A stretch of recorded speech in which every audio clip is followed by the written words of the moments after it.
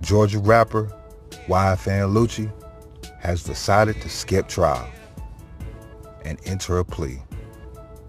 Let's talk about it. YFN Lucci has pleaded guilty and is headed to prison on a reduced sentence.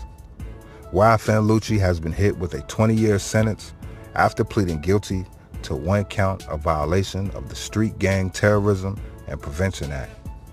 He accepts 10 years in prison, followed by an additional 10 years on probation. The rapper also enters the sentence with time served dating back to January 13th, 2021 as well as a letter from the state to the Pardon and Parole Board confirming it will not object to his early release. Altogether, he will spend about another three and a half more months behind bars.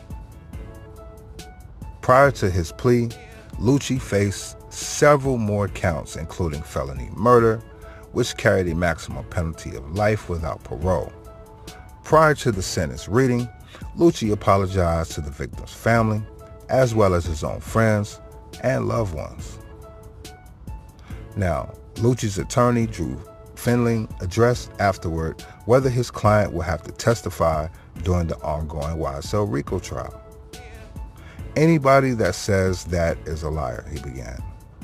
We all just went to court today. It's clear as day there is no cooperation in the YSL case.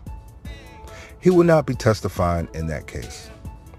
If anybody wants to subpoena him, we'll file a subpoena to squash the subpoena. He wants nothing to do with that case. He's made that clear. For three and a half years now.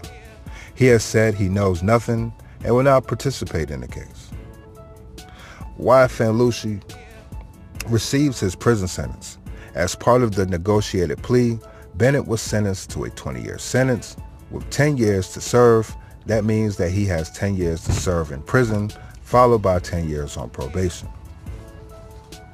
He will only have, like I said before, about three and a half months left to serve. While Lucci's case is done, Young Thug's YSL case continues this week. Monday, the group's co-founder, Trontavia Stephens, discussed Thug's use of truly humble under God as an acronym. What do y'all think about YFN Lucci getting out early, man? I mean, he only been locked up since 2021. One, two, three. Yeah, that's not 10 years, but um, y'all let me know what y'all think in the comments. And don't forget to hit that like button, man. I'm out.